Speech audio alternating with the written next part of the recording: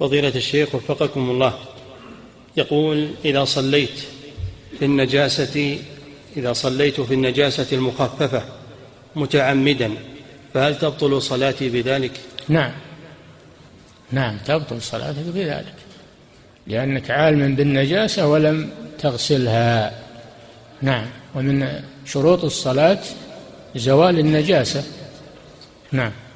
أنت الله تعالى أعلم وصلى الله وسلم على نبينا محمد وعلى آله وصحبه أجمعين. المكتبة الصوتية لمعالي الشيخ صالح بن فوزان الفوزان حفظه الله. فتاوى شرح كتاب العمدة في الفقه للإمام ابن قدامة المقدسي الحنبلي رحمه الله مرتبة على أبواب فقهية. إعداد مشروع كبار العلماء بالكويت أعزها الله بالتوحيد والسنة.